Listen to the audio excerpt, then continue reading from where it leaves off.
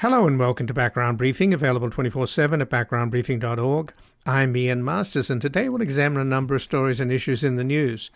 We'll begin with the findings from a veteran pollster that dual haters, voters who don't want either Trump or Biden, were 18% of the voters in 2016, but are now at 23% of the electorate, with 91% saying that the country is on the wrong track and 67% citing inflation and the cost of living as the main problem. Joining us is Stanley Greenberg, who was a pollster to President Bill Clinton and Vice President Al Gore, British Prime Minister Tony Blair, South African President Nelson Mandela, and more. He is a founding partner of Greenberg Research and the co author with James Carville of the New York Times bestseller It's the Middle Class Stupid. His latest book is RIP GOP How the New America is Dooming the Republicans and we will discuss his article at the American Prospect. They don't want Trump or Biden. Here's how they can still elect Biden.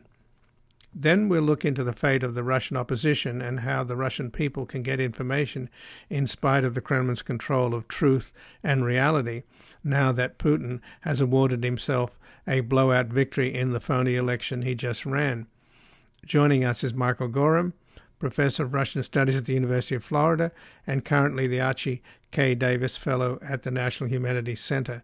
He's the author of two award winning books on language, culture, and politics After Newspeak Language, Culture, and Politics in Russia from Gorbachev to Putin, and Speaking in Soviet Tongues Language, Culture, and Politics of Voice in Revolutionary Russia. He's currently completing his third book, Networking Putinism The Rhetoric of Power in the Digital Age, devoted to the impact of digital media on Russian political rhetoric.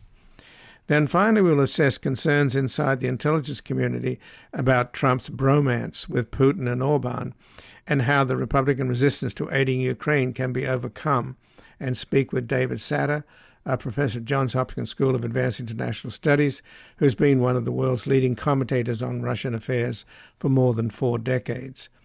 He was the Moscow correspondent of the Financial Times and has written several books about Russia, including Age of Delirium, The Decline and Fall of the Soviet Union, and The Less You Know, the Better You Sleep Russia's Road to Terror and Dictatorship under Yeltsin and Putin.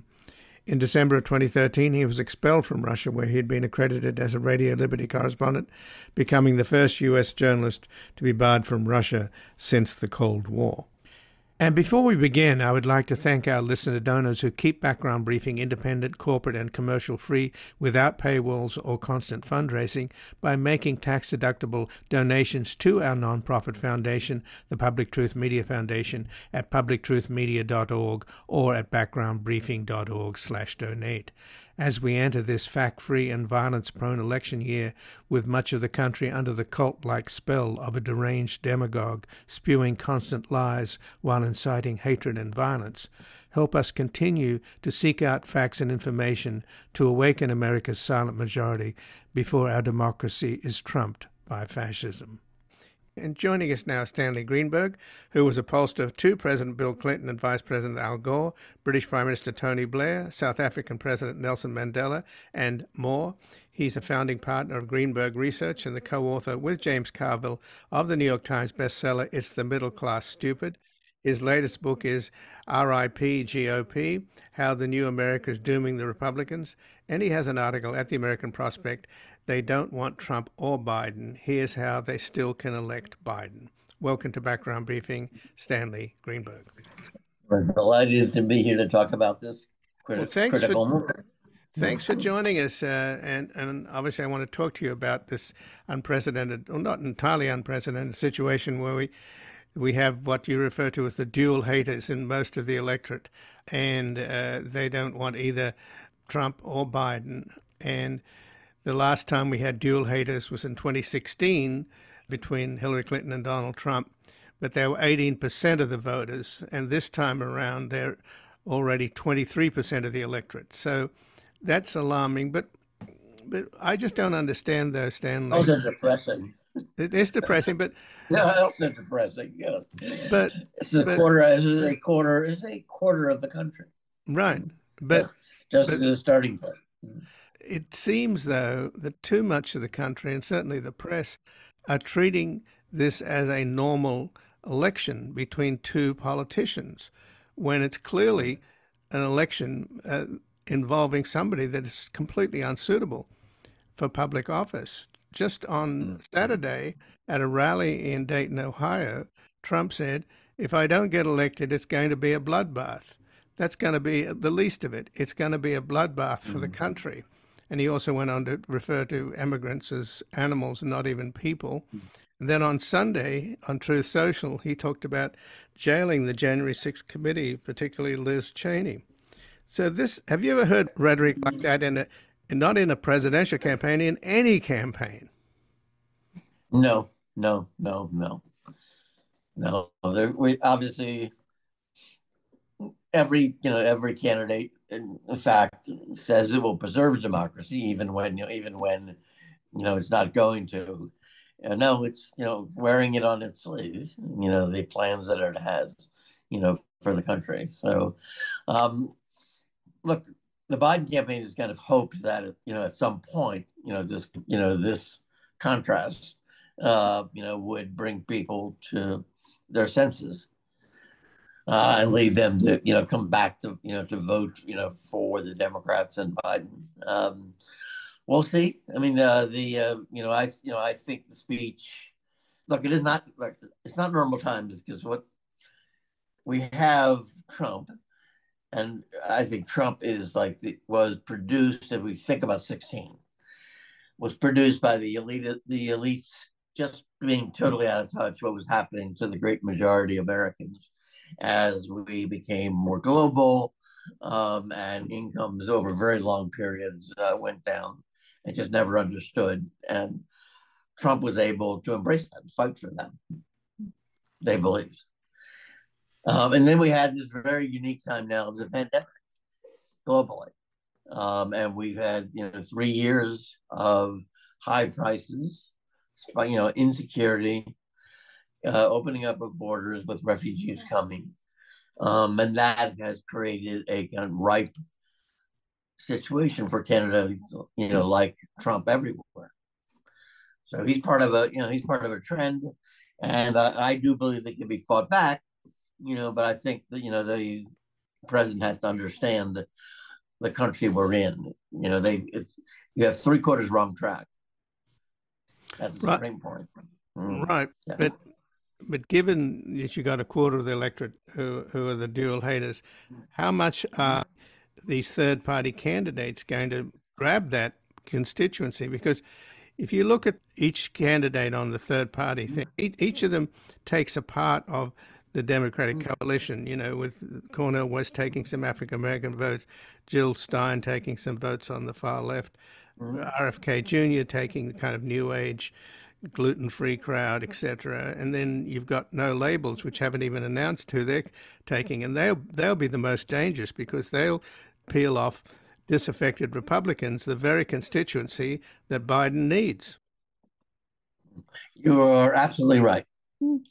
I mean, that is the main impact.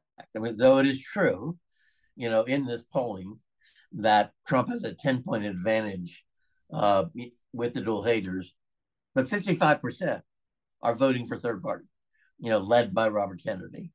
So 55% of the dual haters are voting for third party right now. Uh, and the the challenge will be how to get them to you know break for Biden or how you know how to have just have a bigger block of Biden supporters in this group. But you're right, and state by state, this is going to decide uh, who wins the ele- the electoral college. Well, but Kennedy has hired this woman as his vice president because she's got a lot of money and she can get him on the ballots. Nicole Shanahan, whose only mm-hmm. claim to fame is that she was married to one of the top guys at, at Google. Then she had an affair with Elon Musk. They got a divorce. She got a huge settlement.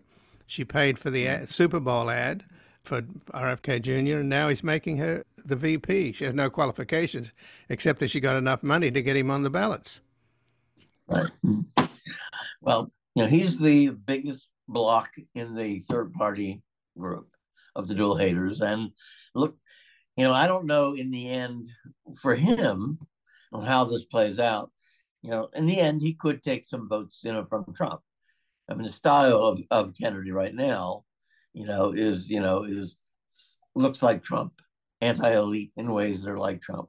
That's not what the data shows. I mean, every you know, right now, it, you know, it breaks against Biden. Uh, but you're right. The third party is the biggest. Is 55 percent of the dual haters are voting third party, and that's that has to be the Biden campaign's main target.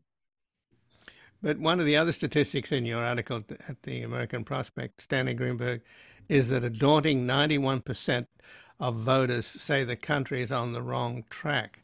So that's a vague, I mean, I, have heard it obviously, and you hear it all the time, but it's never really defined. It's like there's a feeling out there of disquiet, but it's never really thoroughly defined of what's your problem? What's your problem with Biden, and why would you want to vote for this incredibly dangerous, ignorant, reckless, and incompetent narcissist? Yeah. And keep in mind that, look, they want big change. Um, and they think the president says the State of the Union is strong and getting stronger. It's just, it's just these are change voters. They are angry voters. Um, and I look, I do believe the Biden campaign can reach these voters, but you have to start with their, you know, the main problem. The main problem, 20 points higher than any other problem, is prices and inflation. Um, and they, you know, we keep Im- imagining that we are going into a period of uh, of people feeling very strongly about the economy. That's just not true. It's just not true. The uh, you know the uh, and so they are looking for the president to see what they've experienced, empathize with, with him on prices.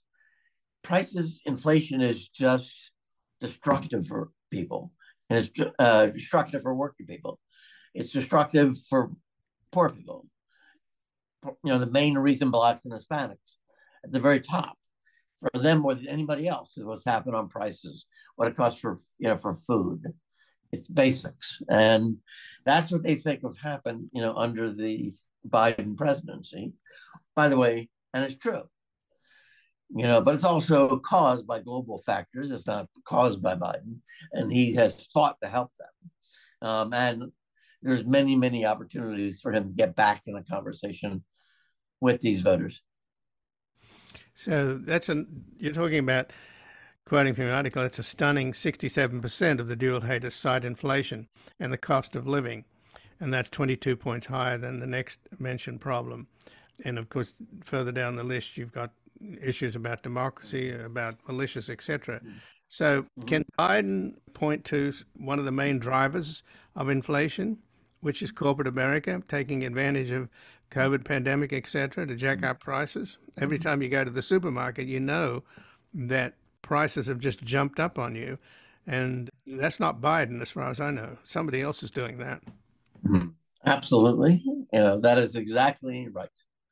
You know the there's going to be a moment where he says, "Look, I've done X, Y, and Z to bring down prices, but was keeping prices up are these monopolies, these big corporations that are profiteering. They've had historic profits, and they've taken advantage. They've, you know, they've raised your prices. They would not raise your wages. He can fight them. He did his part, and he needs to step back and fight those interests. Now, so there's a real opportunity, but it has to start by understanding when you have 91% wrong track with inflation, prices being the main problem. You have to you have to start by saying, "I get it you know, I you know I hear what you've been experiencing. Um, I thought I understood it. I got it, and I helped bring down. I brought down prices, but the monopolies, the big corporations, the billionaires are driving up the prices, profiteering. I'm going to go after them. I did before. I'm going to tax them. I'm going to put a 25% tax on them. I'm going to do a child tax credit. You know, I'm going to make government work for you against them in this tough period ahead. And and Trump wants to cut their taxes. So there is a narrative, there's a choice that's future oriented. Uh, it is hard at the moment, uh, you know, because so much of the Biden campaign is, you know, is focused on convincing people that we've had a he's governed during a good period and contrasting it, you know, with uh, Trump. Again, we'll see how that works. You know, I think the State of the Union speech was great you know, and, and, I'm hoping that gets to it, you know, like a tie race, and there's some polling suggests that's true. Uh, but he needs to lead by much more. He won by four points in 20, uh, and that made the electoral college very close. So he has further to go, uh, but it's a long way to go. You know, you'll see in you'll see in the articles. Yeah. Right. Well, you point out in your article, Stanley Greenberg, that the polls that you've done, voters give their most intense response to taxing billionaires and limited limiting big corporate mergers to reduce monopolies and increase competition and reduce the cost to consumers. So that's the hot, hottest of the hot buttons, right? Yeah, and he uh, and he's for that. I mean, I mean, Biden is strongly for those, um, and has very specific proposal to tax uh, the billionaires. Uh, the, I mean, there is a strong contrast that's going to come forward at some point um, that is very populist in you know in its uh, in its field. So, just in the last few minutes, then, Stanley Greenberg, what effect do you think it would have if all of the senior people that were actually in the room with Trump during the first term? I mean, it started uh, with Miles Taylor, who who wrote the anonymous mm-hmm. piece in the New York Times, and I've been in touch with him. He's trying to organize the adults in the room, like Mattis and General Kelly and others, who could who could and should, I think that it's their patriotic duty to go to the American people saying, look, we've worked with this guy. He's completely out to lunch. He doesn't know what he's doing. He's dangerous. He's ignorant, etc. I mean, apparently uh, Pence is starting to think along those lines. Can, can mm-hmm. you can you recruit George W. Bush, other people like that? I mean, we're going to end up living in Putin's America. I mean, it's it's that's how serious it is. You're right. Um, and look, and I, I do believe that at each that they will assess at each point. By the way, I, look, I don't. I think voters vote on the future. They don't vote on the past. Um, but the past tells you kind of authentically what do we believe he will do, and authentically what do we think Biden will do. Um, and I, I, I do believe what you've just recounted, you know, can be part of that narrative, saying this is what likely to come, and believe me, based on this. But also, Biden has to has to show, based on what I've done, I you know I cut child poverty in half with the child tax credit. We have middle class tax cuts. Uh, I put a corporate minimum tax in, and in the future, much more. We need much more to fund to help households and families and fight you know, against these big corporate monopolies that are driving up prices. Um, and yes, you use the past, but you use it to construct a future choice. So, just in closing, though, do you think if you watch MSNBC, Stanley, you get the impression that any moment Trump is going to be wheeled out in an orange jumpsuit or in a straitjacket. And there's this expectation, if not pinning all your hopes on the idea that somehow the law will deal with this guy before the voters do.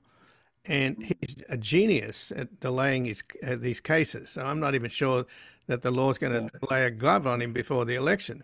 But do you think that we should dispel ourselves of that notion yes and it's distracting the Democrats from a real political campaign to win the election and win over the voters as opposed to win over a jury.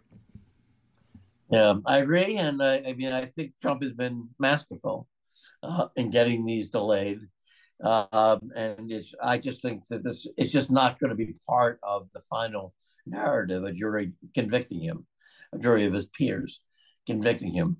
So yes, I think, but there's also plenty of time. There was plenty of time in 16. There was plenty of time with Al Gore, who was 10 points behind the entire election, 17 points uh, after the Republican convention um, in you know in August. There's plenty of time to change to a choice that really does favor Biden and and reduce the third party vote.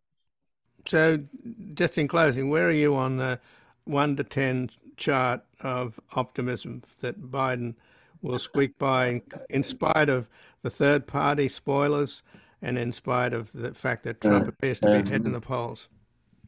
No, I, before I think on that on that scale, you know, I think that I think there's major ways, fundamental ways that uh, Biden can win this election.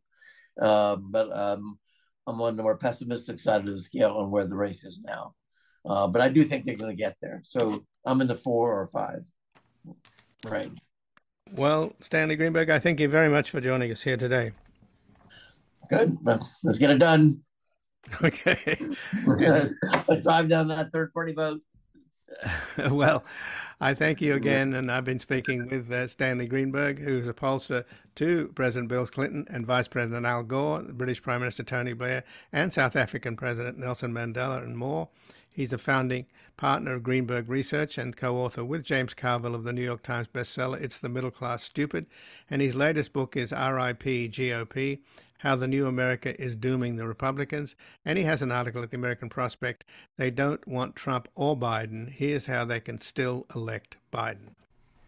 We're going to take a brief station break. We're back looking into the fate of the Russian opposition and how the Russian people can get information in spite of the Kremlin's control of truth and reality now that Putin has awarded himself a blowout victory in the phony election he just ran.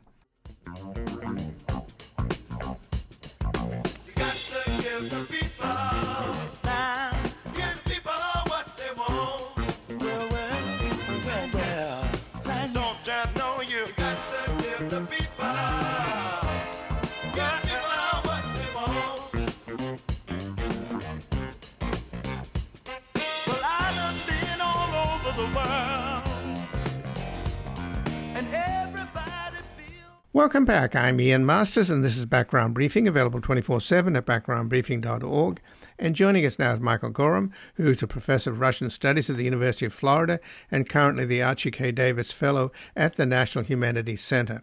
He's the author of two award winning books on language, culture, and politics after Newspeak Language, Culture, and Politics in Russia from Gorbachev to Putin, and Speaking in Soviet Tongues Language, Culture, and the Politics of Voice in Revolutionary Russia.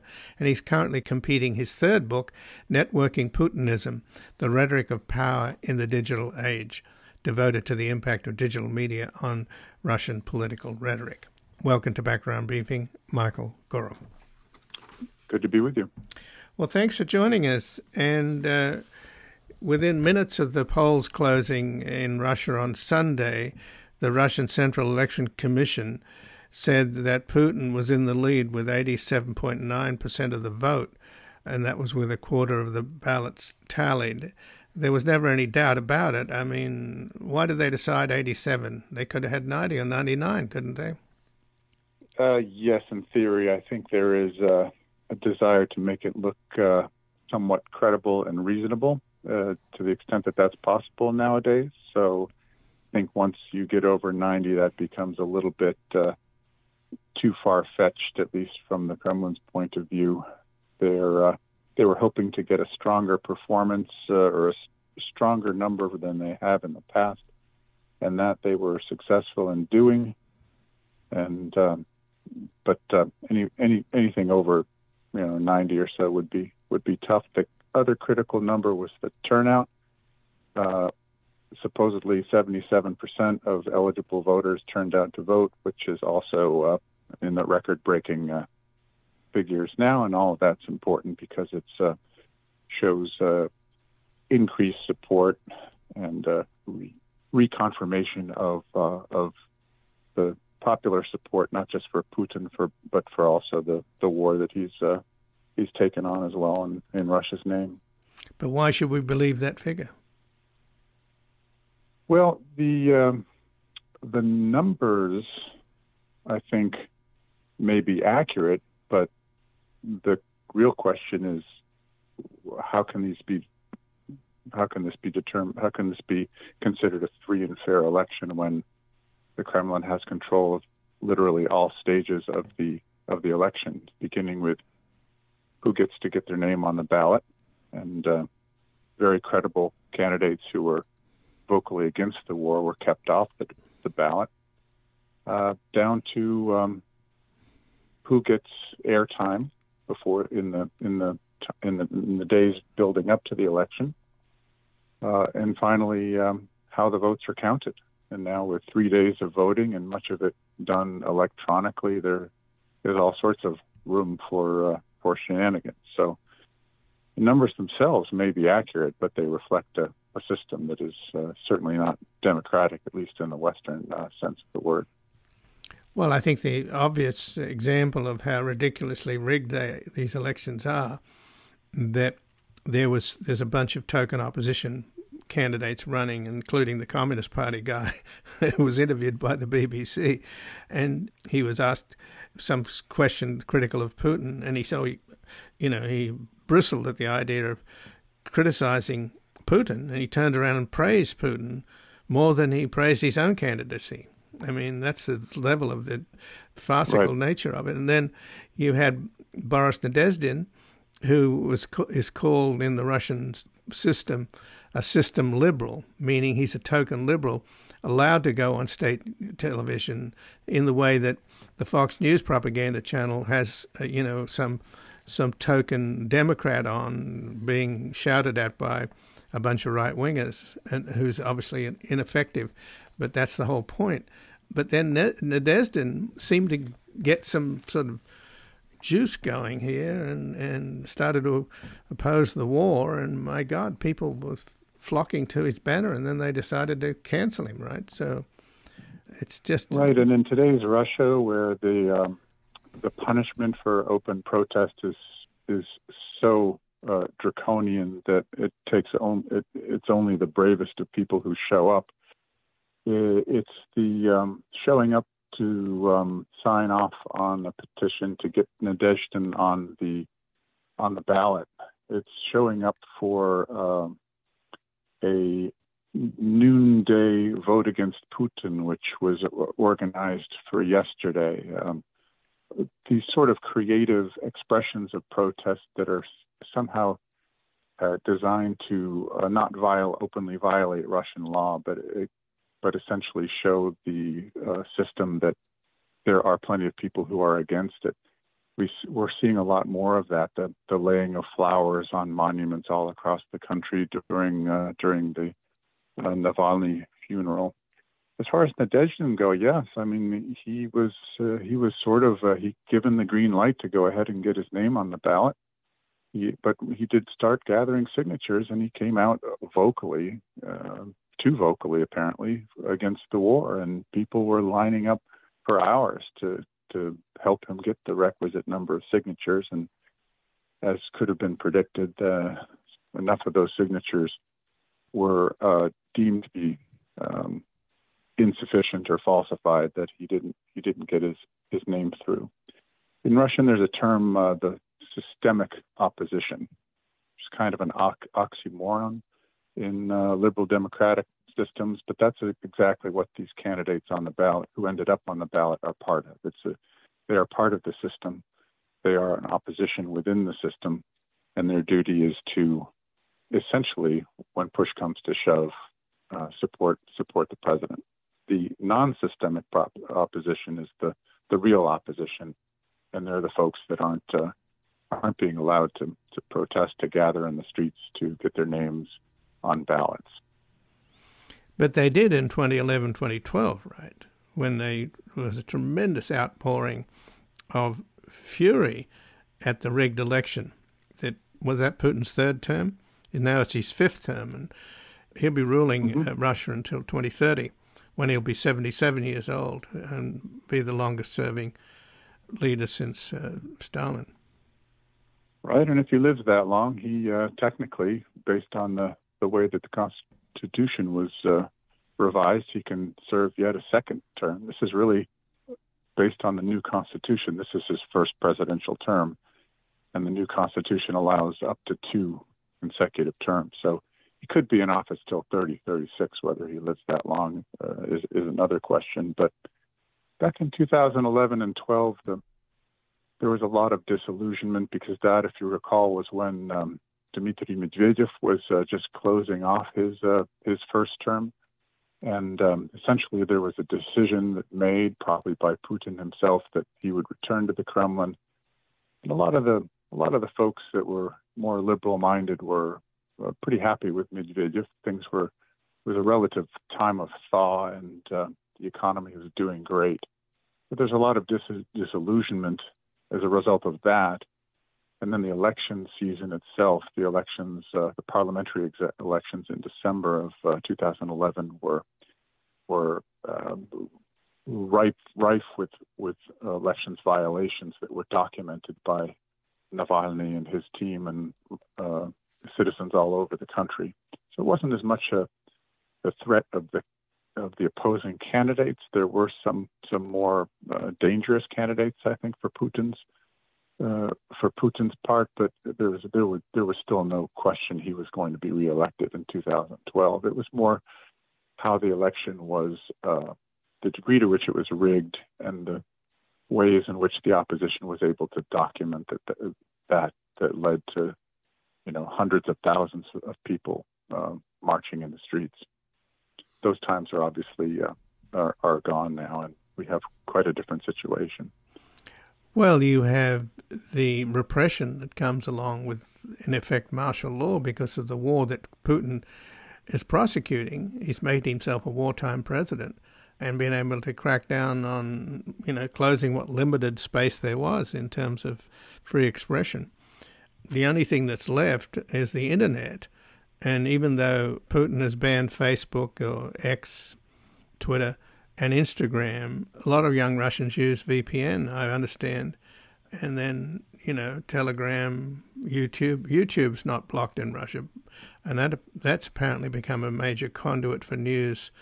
And even TV Rain is able to get videos out of Russia and into Russia. So this this is the area that you study, Michael. Give us a sense of, of how young Russians are getting accurate information.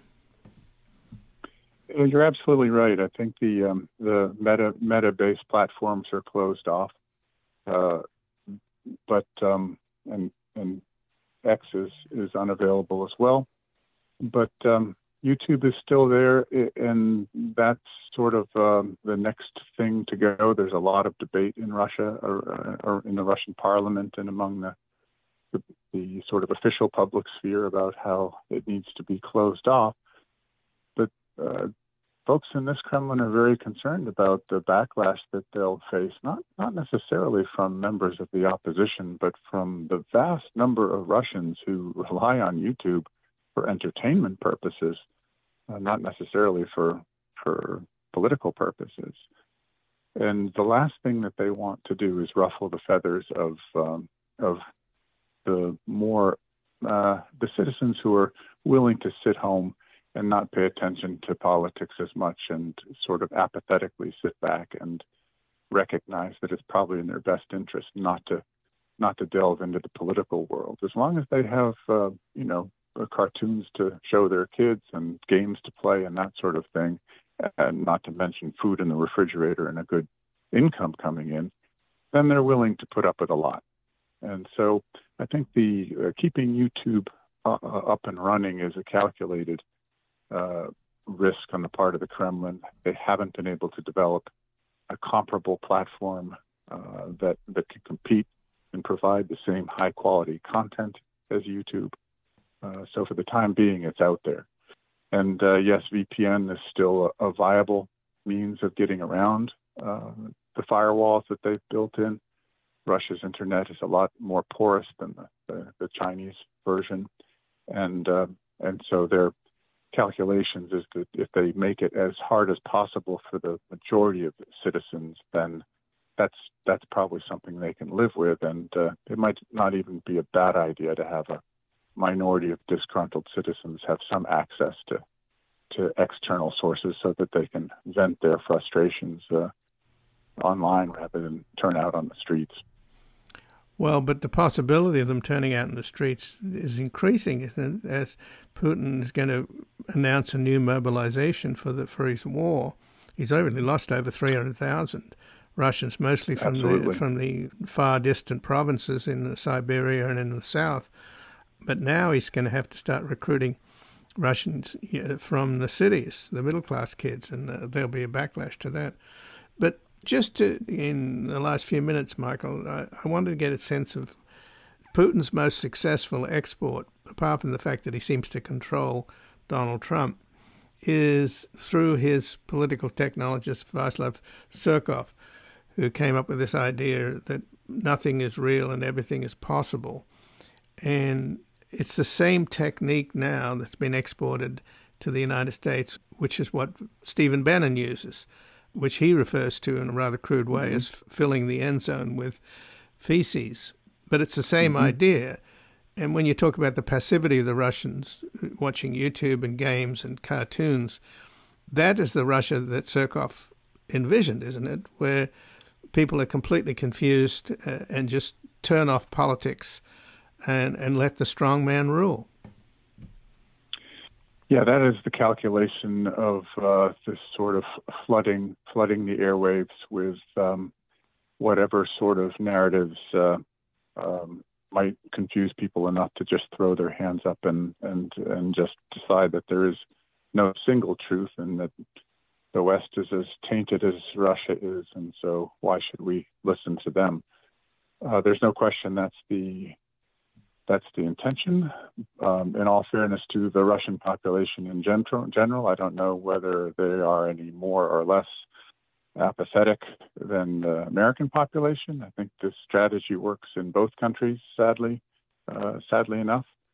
But um, it's a it's a sign of uh, some somewhat of, of desperation that they have to resort to these tactics, and uh, the uh, the fact that they they are keenly aware of this potential means that there's a there still is a great sensitivity in the Kremlin that the pu- public opinion matters, and I think the real danger comes not necessarily from disgruntled youth, the sort of folks who would show up for the Navalny protests, but from other groups um, who may be more likely to support Putin's campaign in Ukraine, but dis- disenchanted with the way that it's going.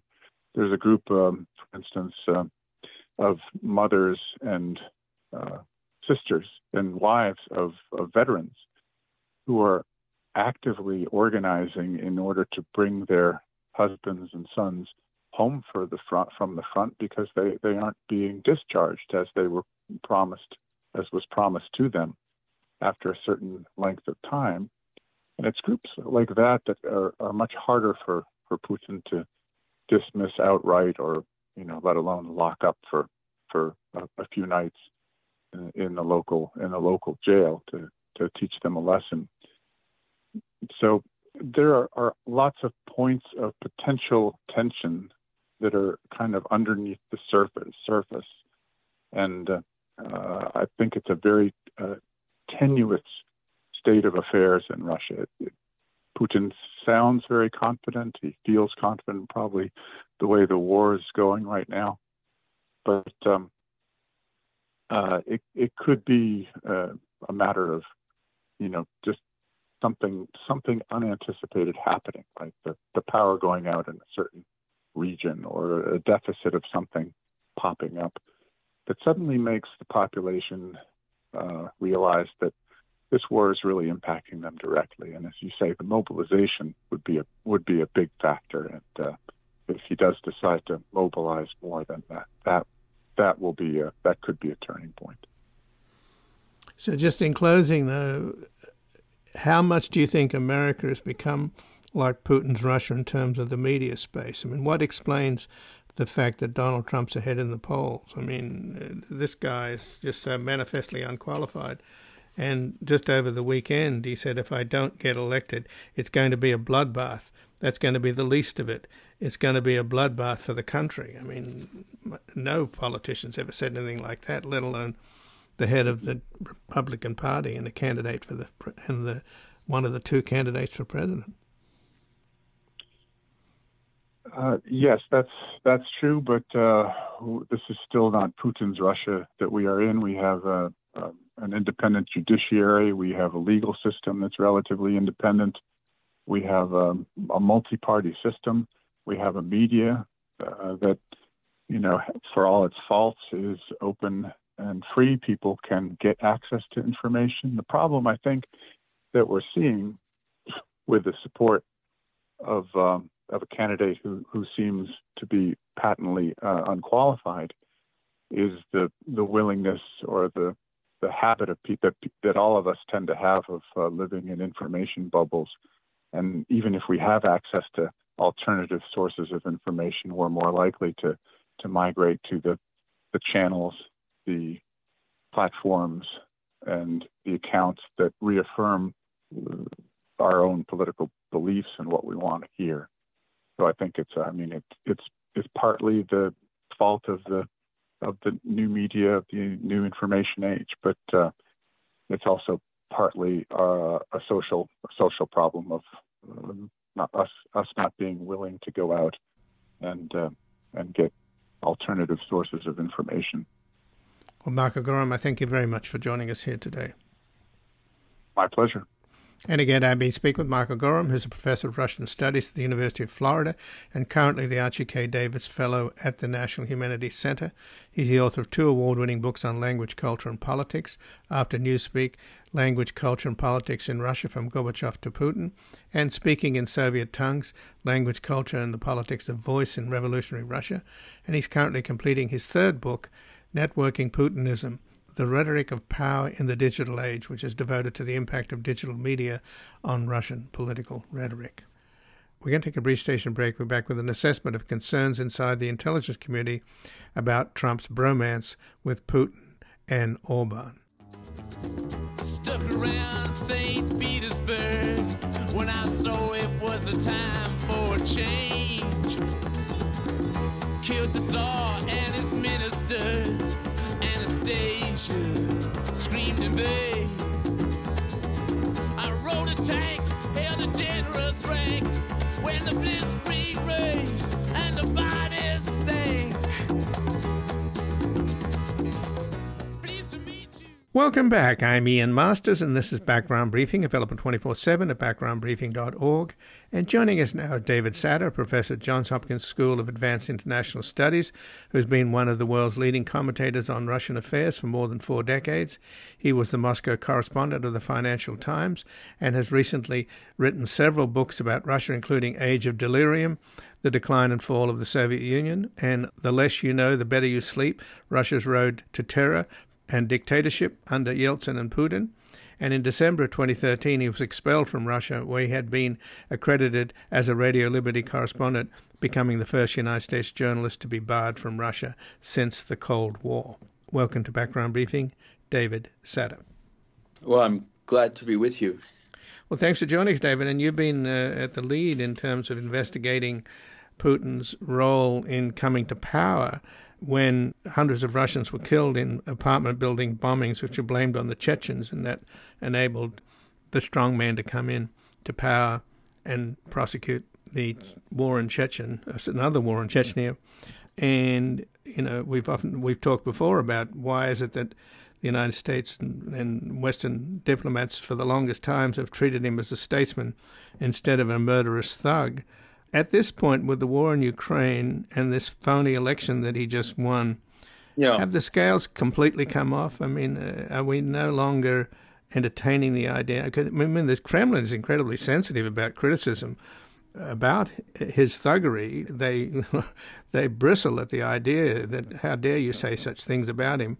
So you can see that it's a sensitive point with the Kremlin. They, and the reason he had this stupid election was he, he apparently wants to be taken seriously, even though it's hard to take him seriously. Well, there are. I mean, there are people in the U.S. who do take him seriously and who, uh, you know, are opposing aid to Ukraine right now. And I think that's in part because of the success of the uh, Putin regime in creating a, a, an image of semi normality and even religiosity in defense of traditional values. Uh, I, I, I, hope that the, the pretense is not 100% successful, but they don't really expect it to be.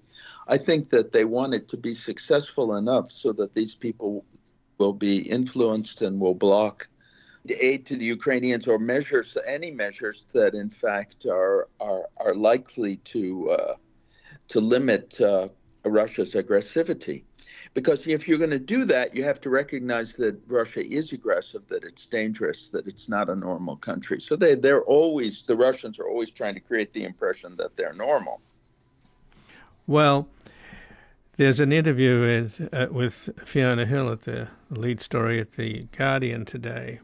Uh, mm-hmm. she, of course, was uh, the Russia specialist on the National Security Council in the Trump administration and testified in the, the first impeachment.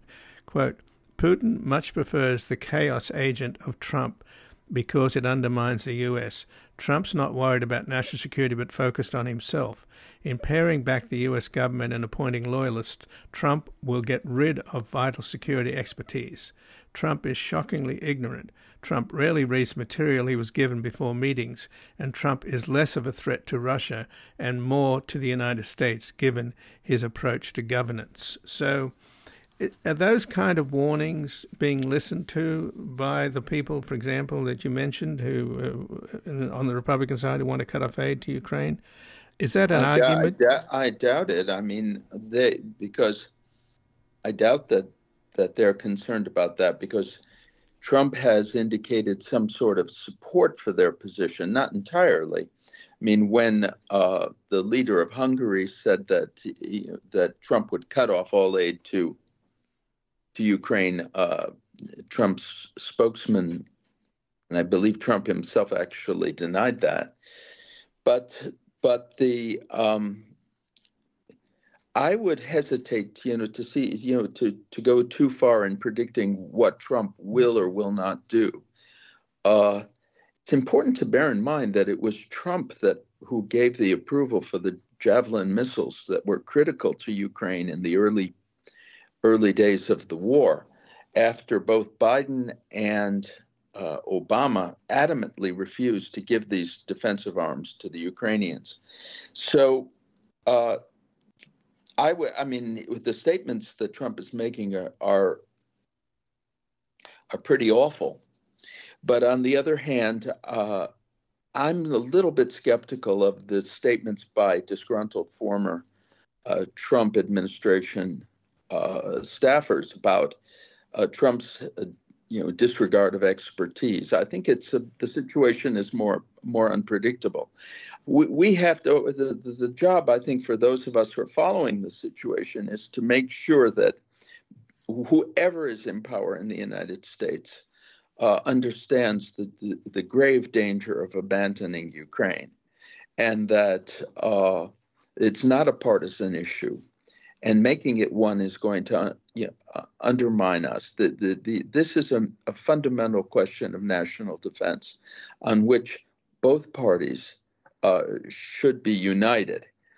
Um, that's why I'm always a little hesitant when the conversation turns to bashing one or another of the political leaders in our country, because uh, uh first of all, their statements uh, you know how no, no matter how stupid they are, and Trump has made a lot of stupid statements, uh, may not reflect the situation that'll prevail once they get into office. And second of all, by getting into this kind of, you know, it's this internal conflict that's weakening us. And in fact, has a, a lot to do with the resistance to uh, uh, to supporting Ukraine in Congress. A lot of these people, for some reason, uh, have a grudge against the Ukrainians, assuming that they, in some way or the other, were out to get uh, the out to get Trump, who's their candidate, and therefore they don't want to do anything for them. That all, uh, uh, you know, pales in significance to the importance of making sure that Ukraine can defend itself, that they have the arms that they need. So uh, Fiona Hill, if, you know, she can make some. She the statements she makes are her predictions. Okay, but I think we should, uh, you know, really focus on the need, uh, you know, the national security need, and uh, and uh, try to persuade those who are blocking aid to Ukraine that the, what they're doing is is is dangerous to the whole country. So, David, are you saying that when Trump made the recent statement encouraging Putin to do whatever the hell he wants with NATO countries that don't pay up, that doesn't bother you, or doesn't seem to be yeah, an indication well, it, of where it, he's at? It bothers me as an example of extreme stupidity. Um, but what I've seen with Trump over the years is uh, him making all kinds of outrageous threats uh, against NATO members in order to get them to pay more. And some of them actually have paid more as a result, or maybe not as a result, but as a, in the aftermath.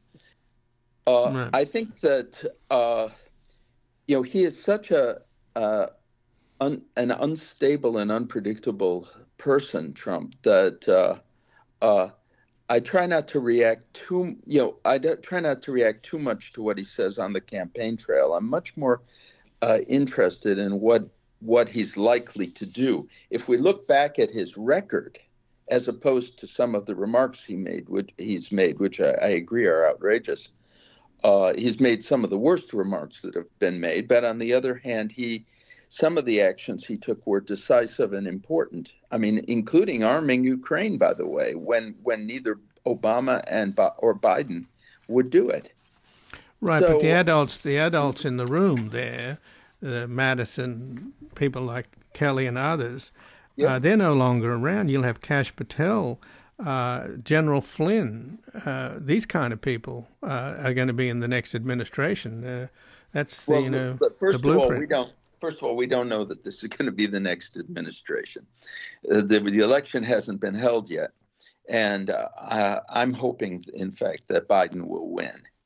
Uh, and uh, the most important reason why is because he's far, far exceeded my expectations in terms of his support for Ukraine. But if if it happens that Trump does win, uh, you know what he says now uh, may not be a guide to what he will do once he's in office. And as far as the people who are coming in, uh, you know, that's also something that we have difficulty predicting.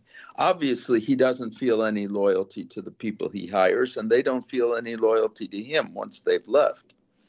But um, you know, the the situation is is uh, is unpredictable, and uh, I I uh, I would focus on the the need to arm Ukraine and make the arguments that need to be made, and not. Uh, uh, and it, it's actually this group that's kind of pro-Trump and uh, so-called Freedom Caucus that is the most is is is uh, uh, is the most dangerous and has to be influenced in the right direction.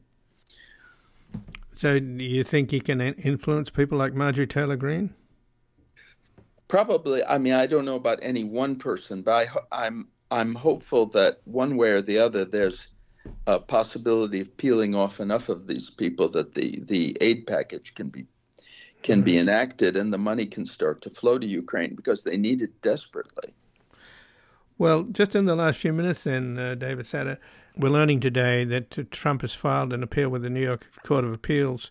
Mm-hmm. Uh, he's been spurned by 30 companies. Uh, he's trying to get a bond for the 454 million judgment he's facing. Right. And it doesn't look like even we don't even know who posted the, the collateral for the Chubb bond of 91 million. Yeah. So these are the kinds of suspicions that arise that the only people with that kind of money to throw at a guy that's notoriously bad at paying his bills, in fact, not paying paying back his loans, would be MBS or or Putin. And I was just talking today about to um, a source who's close to FBI counterintelligence. They're yep. mm-hmm. they're concerned about about uh, Trump for various reasons. Uh, I could go into a long list of them, but Orban is, is the Hungarian a kleptocrat and dictator. He's notorious for being a messenger boy for Putin, and now there's suggestions that that he delivered a message to Mar-a-Lago in his recent visit, and that and Melania showed up for the first time at that meeting because she's worried about Trump's crazy behavior, all the lawsuits against him that she may not end up getting any kind of payoff.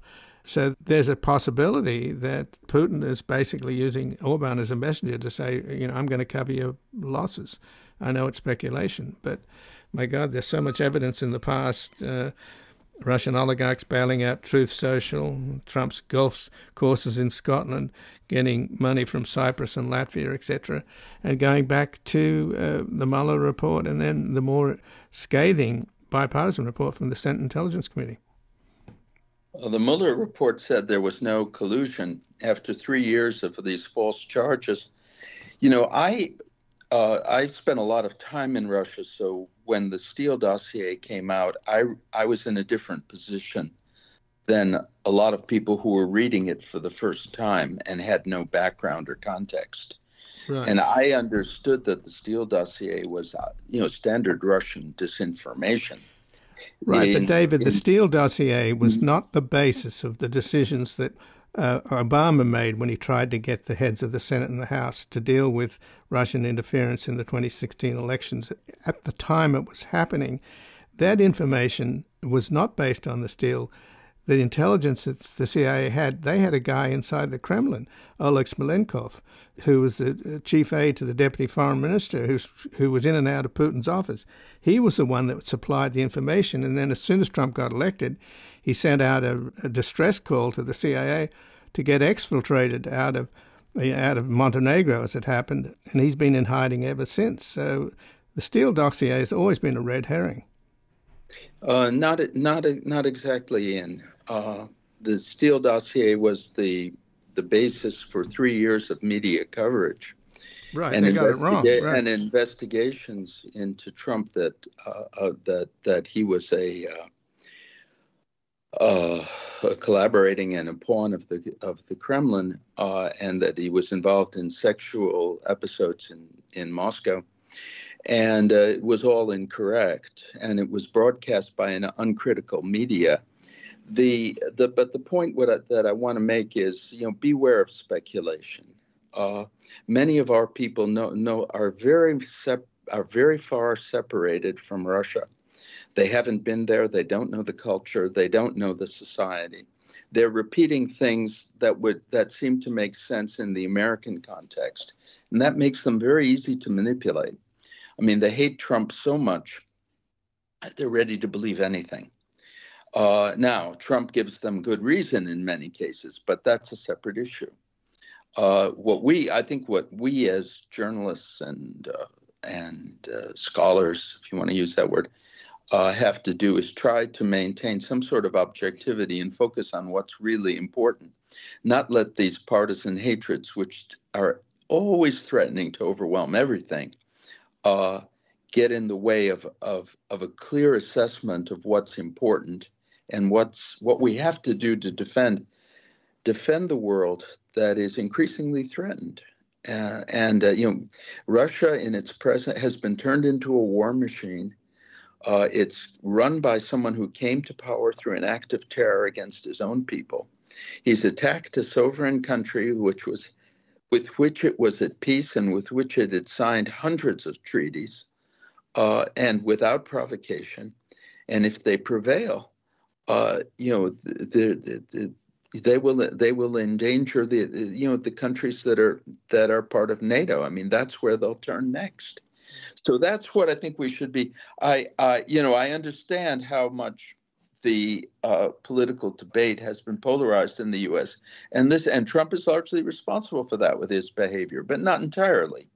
I mean, it's, I mean, it's both sides that have been have been irresponsible with lots of false charges back and forth, and lots of, as you say, speculation. Uh, but um, but that's not what uh, is important right now. Uh, and that and what is important is really important. And that's uh, you know, we I can tell you from personal experience that I've had nothing but trouble trying to explain to people how Putin came to power, how you know the nature of and for years how dangerous this country was. At the time when the media was awash, literally in in pseudo information. Genuine information that I tried to provide was ignored. Only until recently people come to understand, you know, that how dangerous Putin is and was, how how unspeakable the means he used to come to power, and how imperative it is for us to do something to stop him now. That's where I, that's where I think we should be focused. Well, David, I thank you very much for joining us here today. I appreciate it. Okay, Ian. All the best to you. You too. And again, I've been speaking with David Satter, who's a professor at Johns Hopkins School of Advanced International Studies, and he's been one of the world's leading commentators on Russian affairs for more than four decades. He was the Moscow correspondent of the Financial Times and has written several books about Russia, including Age of Delirium, The Decline and Fall of the Soviet Union, and The Less You Know, The Better You Sleep, Russia's Road to Terror and Dictatorship under Yeltsin and Putin. And in December of 2013, he was expelled from Russia, where he had been accredited as a Radio Liberty correspondent, becoming the first U.S. journalist to be barred from Russia since the Cold War. This has been Background Briefing. I'm Ian Masters, and I'd like to thank producer Graham Fitzgibbon and assistant producer Evan Green to help us sustain this program into the future and ensure it remains free to all. Please take a moment to support us by going to backgroundbriefing.org/donate or publictruthmedia.org where you will find our non-profit Public Truth Media Foundation, where your tax-deductible donations, large and small, keep us broadcasting. And if you've missed any of today's programs or would like to explore our vast archives, you can find us at backgroundbriefing.org, where we include extended interviews searchable by topic and have made it easy for you to sign up for daily email updates that provide links to resources, articles, and books discussed on the program. Also, you can find links there to subscribe wherever you get your podcast, and we encourage your ratings and reviews on these platforms. Find us on Twitter and Facebook at Ian Masters Media and please do help us reach more listeners by sharing this program with friends, family, and colleagues. And I'll be back again tomorrow with another background briefing. Bye for now.